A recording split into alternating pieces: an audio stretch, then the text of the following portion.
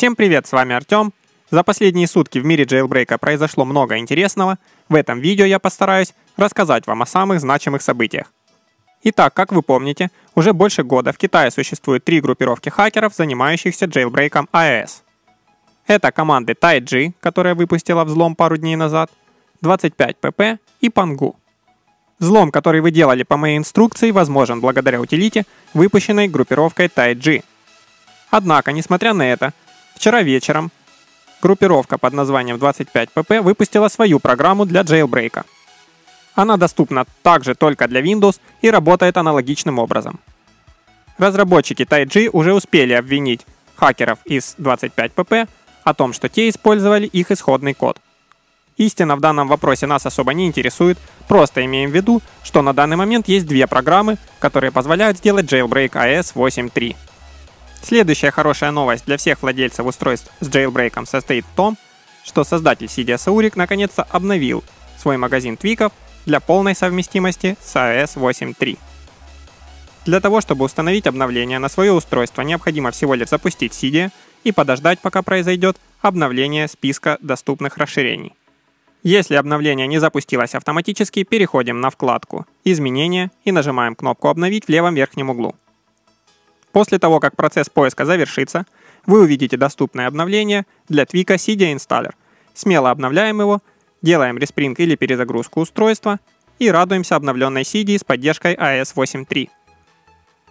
Разработчики из команды TaiG выпустили обновленный твик Apple File Conduit 2, сокращенно AFC 2, он необходим для того, чтобы вся файловая система устройства была видна после джейлбрейка в любом файловом менеджере. Для установки этого твика необходимо добавить новый репозиторий в Cydia, дождаться обновления списка расширений из него и установить соответствующее дополнение. После респринга устройства любой файловый менеджер будет отлично работать с jailbreakнутым iDevice. Кроме этого, обратите внимание, что лучший файловый менеджер из Cydia iFile уже поддерживает AES 8.3. К сожалению, на данный момент не все твики совместимы с этой версией операционной системы, поэтому придется подождать, пока авторы доработают свои дополнения. Для того, чтобы лучше ориентироваться в совместимости твиков, энтузиасты в сети собрали данные о всех расширениях и сгруппировали их в отдельном файле. Ссылку на данный документ я размещу под видео, и вы всегда можете зайти в него и увидеть актуальную информацию о совместимости того или иного твика. Обращайте внимание не только на столбец совместимости, но и на колонку примечания.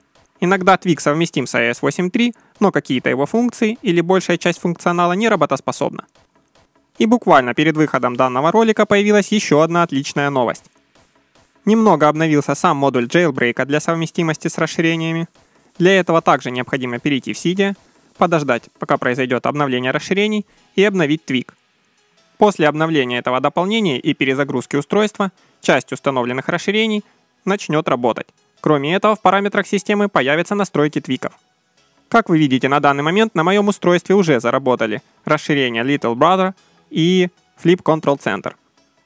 Более того, твик, меняющий разрешение экрана, на iOS 8.3 работает лучше, чем на предыдущих версиях операционной системы. Ранее при попытке установить разрешение от iPhone 6 Plus на iPhone 5 или 5s мы видели артефакты в углах экрана. Теперь такого не происходит. Предлагаю вам в комментариях писать, какие еще твики вы попробовали на iOS 8.3 и убедились в их работоспособности либо неработоспособности. На этом все. Не забывайте делиться вашим мнением и лайками, добавлять ролики в избранное, а также подписываться на канал.